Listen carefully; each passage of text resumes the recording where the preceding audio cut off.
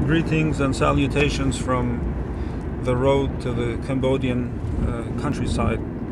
We're heading from the capital, Phnom Penh, where we arrived yesterday on a trip from Bangkok to the oud producing region of Cambodia.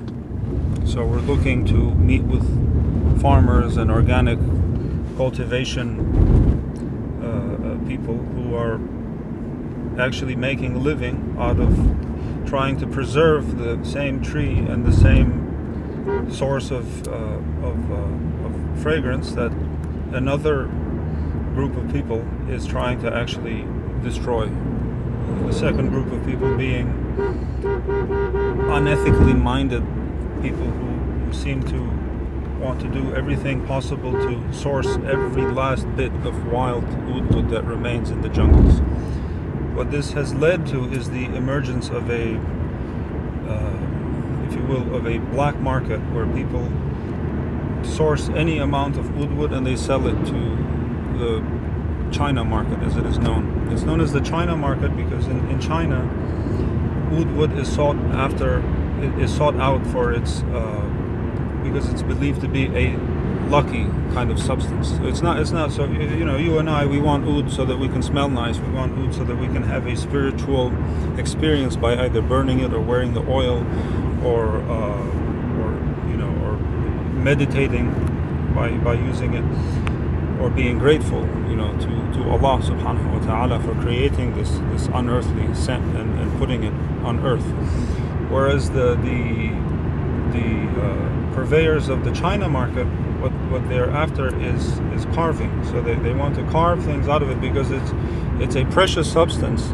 So rather than have something carved out of uh, normal wood, if you carve it out of precious wood, i.e., agar wood, then it is worth so much. I mean, it's worth you know some of these little statues and these little Buddhas and these little trinkets that they carve out of it, even things as small as you know little beads that they make bracelets out of, sell for tens to hundreds of thousands of dollars. So you get a bracelet that sells you know for two hundred thousand dollars for just you know eleven beads on it. If the wood is black and, and, and fragrant enough, then what's that going to do to the to the community or the, if you will, the market that, that seeks out this wood for a finite purpose, i.e., that brings it to an end, such as uh, you know oil consumption. If you, if you if you use it as a fragrance, as an oil, as a natural perfume, you put it on your skin. It's finite. You put it on your skin, then it ends. After that, you don't you know the, the swipe that you applied is no longer in your bottle. The chip that you burnt on your on your incense burner is no longer there. So it's not the same as a lasting or as a uh, as a, as a uh, jewelry or whatever piece of, uh, of uh, good luck wood as they would like to call it. So we're trying to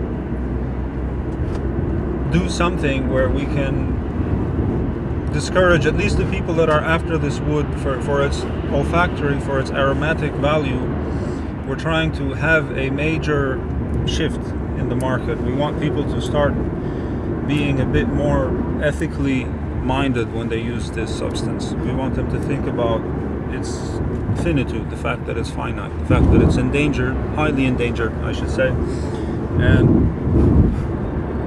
if you want it to be around for your even for yourself, but you know, not to mention your children and your grandchildren, then you should use organic oud